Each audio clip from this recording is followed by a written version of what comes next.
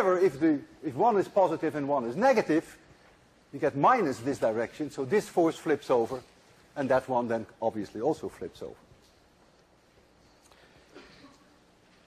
In the SI units, in this course, we will use for the unit of charge the Coulomb, named after this great man.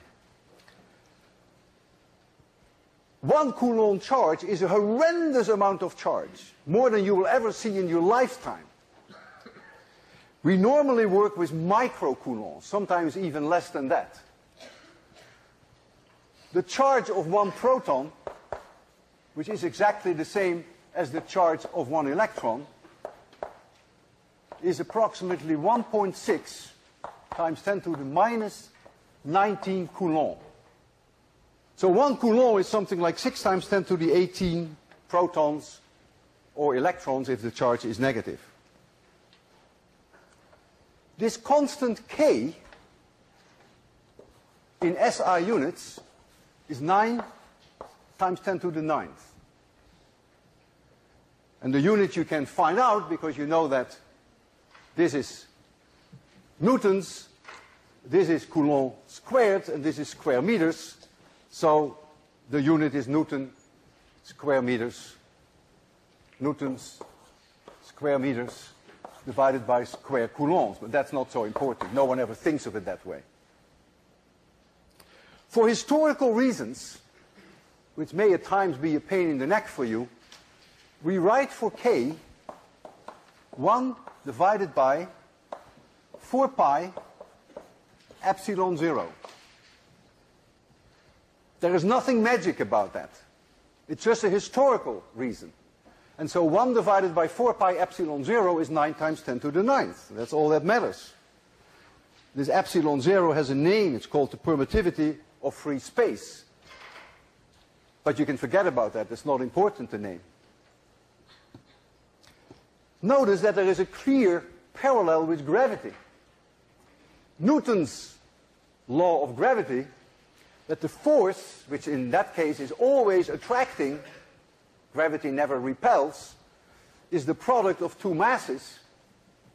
And then you have here the gravitational constant, and again you have the distance square. So there is an enormous parallel between the two. It's a great beauty that electricity acts in a way that is very parallel to the way that gravity works. If I added a third charge, for instance here, Q3, and if now I want to know what the force is on Q2, then I use the superposition principle, which we've used many times in 801. And we say, okay, the net force on number 2 is the force due to number 1 plus the force from number 3. If number 3, if this is positive and this is positive and this were negative, then this force would be in this direction. F1, F3, 2,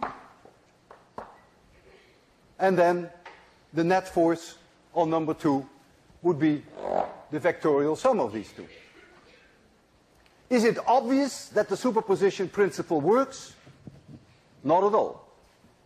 It's not at all obvious. Do we believe in it? Yes, we do. Why do we believe in it? Because it's consistent with all experiments that we have done. But the superposition principle, which is very powerful, is really not a matter of course. But it works. We can always use it, and we will. If you compare 801 with 802, thereby comparing electricity with gravity, you will see that electric forces are way more powerful than gravitational forces. And the way I can best show you that is by taking two protons, which are a distance d apart. Here is a proton, and here is a proton, and they are separated by a distance d. They repel each other. And the force by which they repel each other is of course extremely easy to calculate. We know Coulomb's law, that law is called after Coulomb, and so the force, the electric force with which they repel each other, this is just the magnitude now of the force, is the charge of the proton, which is 1.6 times 10 to the minus 19, but I have to square that. I have to multiply it by Coulomb's constant, which is 9 times 10 to the ninth, and I divide it by d squared. That's the electric force. If I want to know the gravitational force, which is the force with which they attract each other, these are repelling forces, but I just want magnitudes here, then I have to take the mass of the proton, which is 1.7 times 10 to the minus 27. I have to square that. Remember, m1 times m2 times gravitational constant. The gravitational constant in SI units is 6.7 times 10 to the minus 11, and I divide that by d squared. If now I compare the electric force with the gravitational force, so I divide one by the other,